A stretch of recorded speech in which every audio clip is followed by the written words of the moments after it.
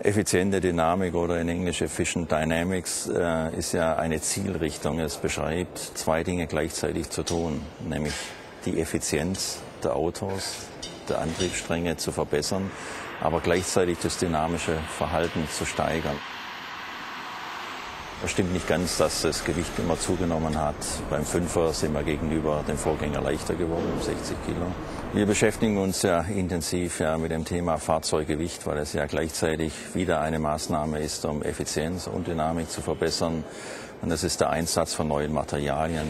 Beispiele dafür sind der äh, das Kurbelgehäuse aus Aluminium und Magnesium Verbundguss bei unserem reinen Sechszylindermotor die Verwendung von äh, neuen Kunststoffteilen in der Außenhaut, die im Prozess lackiert werden für unsere neuen Fahrzeuge oder Lösungen wie das Kohlefaserdach bei dem M3 oder M6.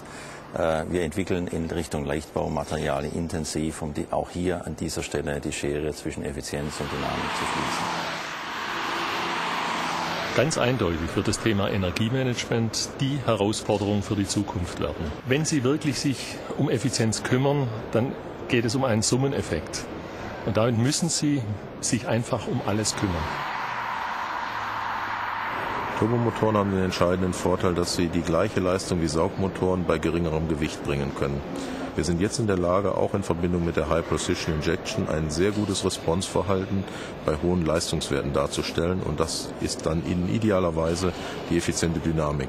Viel Leistung, geringer Verbrauch, gut wenig Gewicht. Es geht eigentlich um die schnellste Rundenzeit und dem muss sich alles unterordnen. Aber um diese zu erreichen, ist natürlich Effizienz ein wesentliches Kriterium.